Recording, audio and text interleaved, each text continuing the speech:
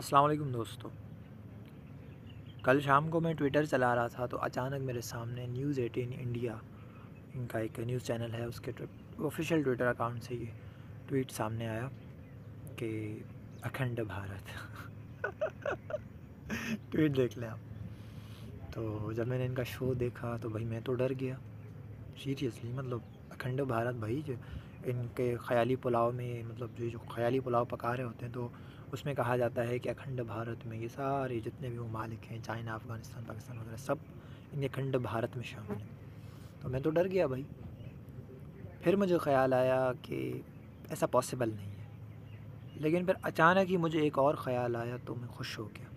मैंने कहा, यार, मेरे पड़ोसी हैं, मैं इनको एक मशवरा देना चाहता हूँ। तो भाई, मशवरा ये है कि तुम लोग ना सलमान खान को ले लो। अजय देवगन को ले लो और जितने भी तुम्हारे हीरो हैं ना, जो कुछ ज़्यादा ही हीरो बन रहे हैं, सिर्फ़ बॉलीवुड में, उनको लेके एक मूवी बनाओ, जिसका नाम रखो अखंड भारत। उसमें तुम जो है, जो मर्ज़ी दिल करे, पूरी दुनिया फ़तह कर लो, पूरी दुनिया को अपने अखंड भारत में शामिल कर लो।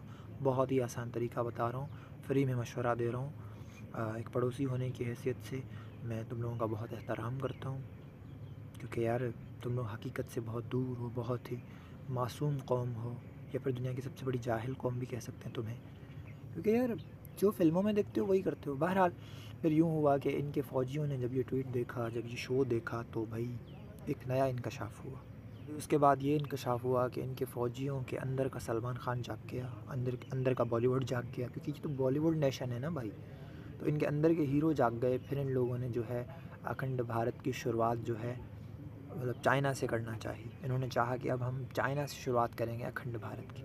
लेकिन जैसे ही चाइना बॉर्डर पे गए तो भाई जो इनको चपेड़ें पड़ी, जो इनकी थकाई हुई, जो इनको लाते ढूसे मक्के मिले ना, वो तस्वीरें आपके सामने बस आखिर में फिर वही मशवरा है कि भाई मूवी बनाओ, अपने आवाम को बेवकूफ़ बनाओ और यार, हकीकत में आ जाओ यार, कब तक फ़िल्मों पे जियोगे?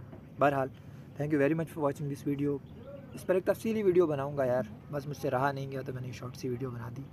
लाइक करना। अल्लाह हाफिज़।